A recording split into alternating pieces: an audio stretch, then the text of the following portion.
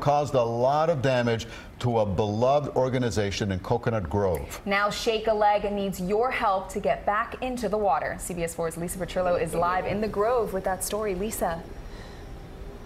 Vanessa, it's pretty unbelievable if you take a look behind me. This marina before is, we know it as Monty's, those of us who grew up here. It's now called Prime Marina. Part of it, these boats right here, are some private boats, and then the boats, as you said, from a nonprofit called Shake a Leg, but they've all come together for one big mess. A mangled mess of boats of all kinds and a dock in shambles at T's Marina in Coconut Grove. The spot shared with Shake a Leg, a nonprofit organization that helps kids, adults, and veterans with disabilities to find independence on the water.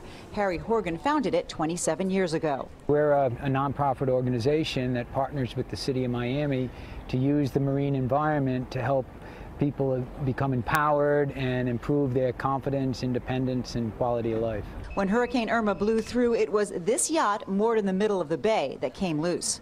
As far as we understand, um, that boat broke loose, came down like a bowling ball, and just took out our, our boats. Shake a Leg lost nine sailboats and four powerboats. The handicap accessible boats, they're, they're the ones that were mainly damaged and they were in the water. We stripped them of all their sails, double tied them. The Pearson boat, that's um, that 40 footer right behind us. Right. Um, that's another wheelchair accessible boat that yeah. um, the engines are shot. Former Shake a Leg sailing counselors Daniel Kaplan and Kevin Rodriguez started a GoFundMe page to help cover what insurance won't. Shake a Leg has been supporting and helping the, the South Florida community for so long, and we just felt that it was necessary to bring the, the people that have served the, uh, the community some help. And these are kids that, you know, are, have lived a rough life. You know, they're, a lot of them are, you know, disabled. Mm -hmm. It gives them, you know, for the summer, let's say, gives them those few months of just pure enjoyment and happiness. Mother Nature really knocked us down, but there's also a lot of power in getting out in the water and rebuilding.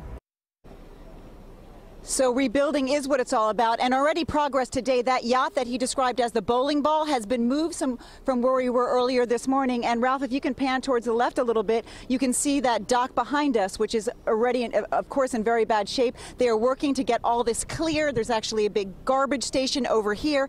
And as far as helping them rebuild, for more information on that GoFundMe page, please log on to our website at cbsmiami.com. From Coconut Grove, I'm Lisa Petrillo, CBS 4 News.